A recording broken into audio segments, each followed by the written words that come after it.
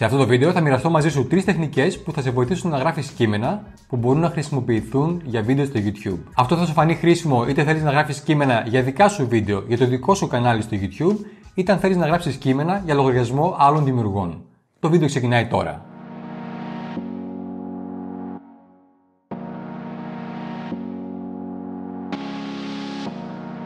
Γεια σου, είμαι ο Θοδωρής Αραμπατζής, δημιουργός του GreekCoach.gr και αυτό που κάνω να βοηθάω επιχειρηματίες, coaches και άτομα που ασχολούνται με τις πωλήσεις και το δικτυακό marketing να δημιουργήσουν μια αποτελεσματική στρατηγική ανάπτυξης online και offline. Το YouTube είναι η δεύτερη μεγαλύτερη μηχανή αναζήτησης. Όποτε θέλω να βρω πώς να κάνω κάτι ή αν θέλω να δω reviews για προϊόντα που με ενδιαφέρουν, συνήθως ψάχνω πρώτα εκεί. Ή αν θέλω να μάθω ένα νέο skill, να δω κάποια νέα, πρώτα κάνω αναζήτηση εκεί. Αν λοιπόν σκέφτεσαι να αξιοποιήσεις το YouTube, δημιουργώντας περιεχόμενο το οποίο θα φέρει περισσότερο κοινό σε εσένα, τότε δες με προσοχή το σημερινό βίντεο. Θα μοιραστώ μαζί σου τρεις ιδέες για το πώς να γράφεις κείμενα και πώς να βρίσκεις ιδέες για τα οποία θα μπορείς να μιλήσεις στα βίντεο σου. Το πρώτο που θα έλεγα σε κάποιον που αρχίζει να γράφει σενάρια για βίντεο στο YouTube, μην κολλάς πολύ στη δομή.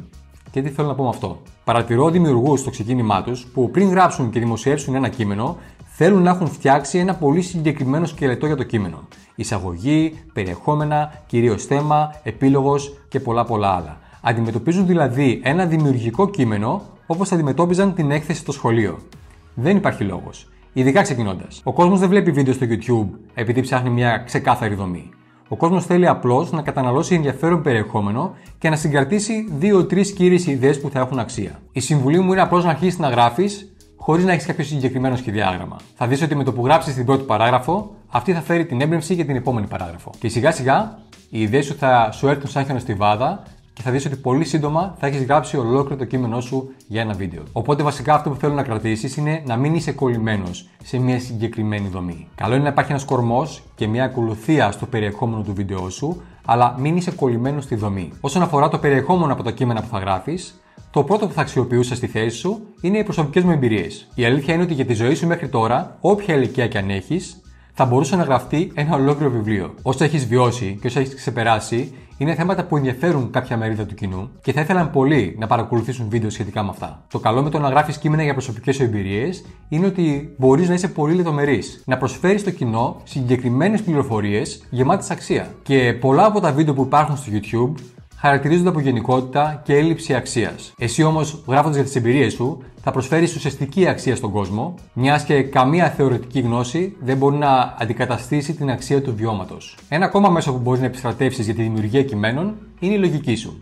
Επίτρεψέ μου να σου εξηγήσω τι εννοώ. Όταν ένας φίλος σου ζητάει μια συμβουλή σχετικά με ένα θέμα, ποιο είναι το μέσο που χρησιμοποιείς για να του πεις την άποψή σου. Εκτός από την προσωπική σου εμπειρία, πολλές φορές είναι η κοινή λογική. Για παράδειγμα, αν σου πει ότι έχει κάποιο θέμα με τη σχέση του και ότι έχει αρχίσει να του προκαλεί τοξικότητα, είναι πολύ πιθανό να του δώσεις κάποια συγκεκριμένη συμβουλή και να το αιτιολογήσεις. Δεν χρειάζεται να έχεις απόλυτη εμπειρία και πανεπιστημιακή κατάρτιση για να συμβουλέψεις το φίλο σου για το συγκεκριμένο θέμα. Συνεπώς, με τον ίδιο τρόπο μπορείς να γράψεις ένα κείμενο όπου θα πραγματεύεσαι με λογικές σκέψεις ένα θέμα. Θα μπορούσε, για παράδειγμα, να γράψεις ένα κείμενο για τις πωλήσεις, για την επικοινωνία και να εκφράσεις την άποψή σου μέσα από μια σειρά ερωτήσεων για το συγκεκριμένο θέμα. Αρχικά θα μπορούσες να γράψεις 4-5 ερωτήματα που έχουν πολλοί άνθρωποι σχετικά με την επικοινωνία. Τι είναι η γλώσσα του σώματος και πώς την ερμηνεύεις; Πόσο σημαντική είναι η ταχύτητα ομιλίας και τι δείχνει για εσένα; Αφού γράψει αυτές τις ερωτήσεις, άρχισε να γράφεις την άποψή σου για κάθε μία από αυτές. Απαντώντας σε όλες αυτές τις ερωτήσεις, θα έχεις γράψει ένα πλήρες κείμενο. Προσοχή, αν δεν είσαι ειδικό σε ένα θέμα,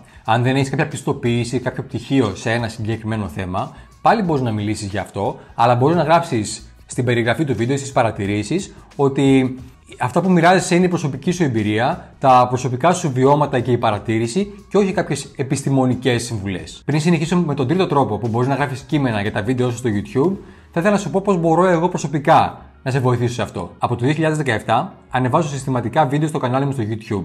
Έχω περισσότερα από 300 βίντεο, περισσότερους από 3.000 subscribers και έχω αλλάξει πολλά πράγματα όλα αυτά τα χρόνια στη στρατηγική μου, ώστε να γνωρίζω τι ακριβώς δουλεύει καλύτερα σήμερα.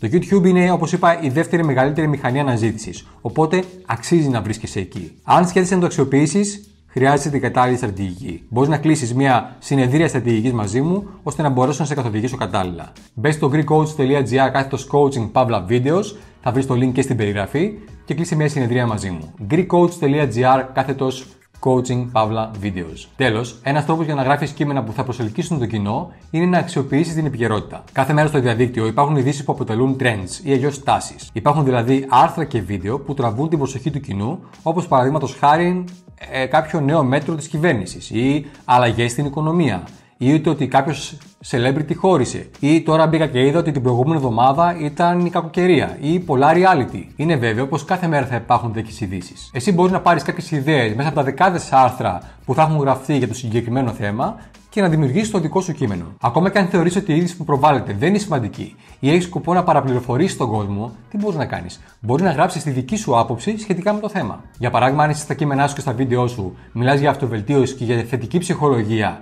και η κύρια είδηση της ημέρας ή της εβδομάδας είναι ένα αρνητικό γεγονός, μπορείς να μιλήσεις για το γεγονός και να βοηθήσεις τον κόσμο να το διαχειριστεί καλύτερα ή ακόμα και να του δώσεις ένα διαφορετικό νόημα από αυτό που δίνουν τα κυρίαρχα μέσα ενημέρωση. Αυτές ήταν λοιπόν τρεις ιδέες για τα επόμενα κείμενά σου. Αν έφτασες μέχρι εδώ και σου άρεσε το βίντεο, κάνει εγγραφή στο κανάλι μου πατώντα το κόκκινο κουμπί, πάτα και το καμπανάκι για να ενεργοποιήσεις τις ειδοποιήσεις, ανεβάζω τακτικά βίντεο. Ποια είναι μια ερώτηση που θα θέλεις να μου κάνεις σχετικά με το περιεχόμενο που δημιουργείς για τα κείμενά σου, για τα βίντεο σου; Γράψτε κάτω στα σχόλια. Ξεκινά να εφαρμόζει αυτές τις τρεις ιδέες και σήμερα γράψε το κείμενο για το πρώτο σου βίντεο.